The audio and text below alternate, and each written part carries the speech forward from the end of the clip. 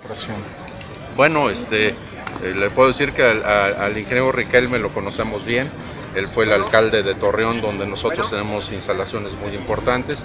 Nosotros eh, eh, consideramos que el papel que él hizo en Torreón fue muy bueno. Se notó un cambio importante en la ciudad y, y con el- la mancuerna que hizo con el gobernador Moreira de regresarnos a todos la seguridad, promover la inversión.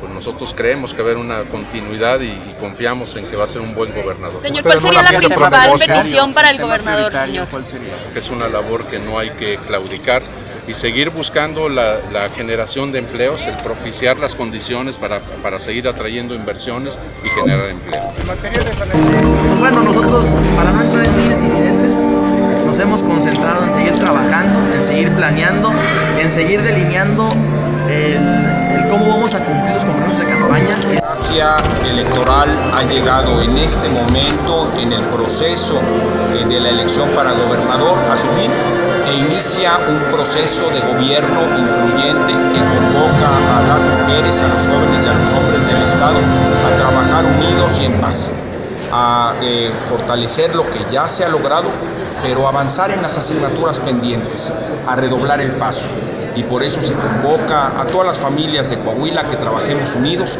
y a que construyamos juntos el siguiente nivel de desarrollo para el beneficio de todas y todos en el Estado. Cuenten ustedes con el apoyo del Comité Ejecutivo Nacional del PRI. Estaremos permanentemente presentes impulsando al nuevo gobierno y apoyando al pueblo de Coahuila.